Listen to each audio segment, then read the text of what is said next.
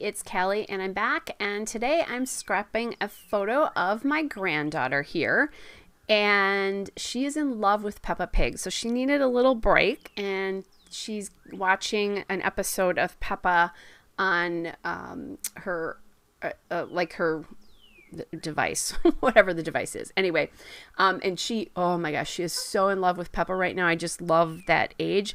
And so is um, M number two, her older brother, who's two years older than she is. They have they have birthdays less than a month apart, and his is first. And he got some Peppa stuff, and she was not happy. And then she had a completely Peppa filled birthday, so it all was okay in the end. But oh my gosh, so I started with that peach paper that's from Photoplay Like a Girl. It's the retail therapy paper. And then I am, oh, and you know what? I said it was, I, I'm sorry, that's from Fashionista, the retail paper, um, therapy paper. It's the um, Echo Park Fashionista retail therapy paper. Sorry about that, guys. I have those two collections mixed in the same one, and I um, didn't have that right. So anyway, the um, floral paper there is a cut apart with four squares in it. And that is from Photoplay Like a Girl Have More Fun. And I just liked the little bit of a busyness and girliness is it added because Peppa's a girl pig, right?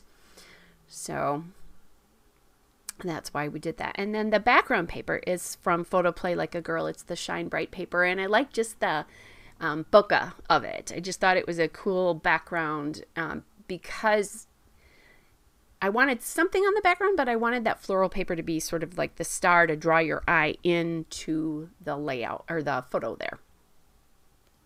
And then I have that cut apart card, that 3x4 cut apart, and that is from Photoplay Like a Girl. It's the Be Yourself 3x4 cards.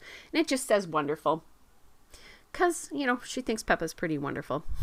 and I love the kids all have blue light glasses for when they um, watch things on screens when they have screen time. And so I, I love how kind of nerdy they make the kids look. I did a layout with her brothers with their blue light glasses on at one point, not that long ago.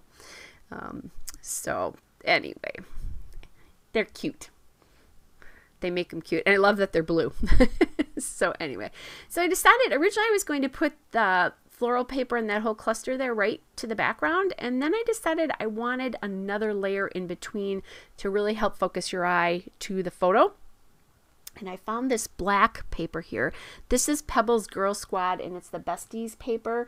And it says, it has cute things like um, awesome, cool, always, forever, super epic, hooray, best friends. I just thought it would be kind of cute with the whole Peppa theme here. So I'm adding that in, trying to decide where I'm going to put that. And I decided to justify it down a little bit so that I had room for the title on the top. Thinking about now, what kinds of embellishment can I use here? Because I don't have a lot of embellishment from this collection.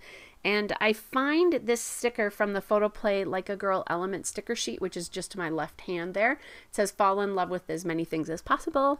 So kind of a dual, you know, Peppa there. And, you know, I'm, I love her bows. Oh my gosh, her bows and her glasses. Her hair is so curly. Um, and they're trying to get it to grow out because we don't nobody wants to cut it off so she runs around with these with bows and lots of these colors all the time she didn't like them at first but now she kind of if she doesn't have them, she doesn't feel like she's completely dressed properly, I guess would be the best way to describe that. So I think it's really cute. All right, then I'm taking more stickers. Um, there's a little signpost that's there, there that says awesome and happy. I have those um, like light arrows with the light bulbs on it, just kind of trying to use some things up from that sheet, uh, but nothing, you know, it, it's all sort of more neutral.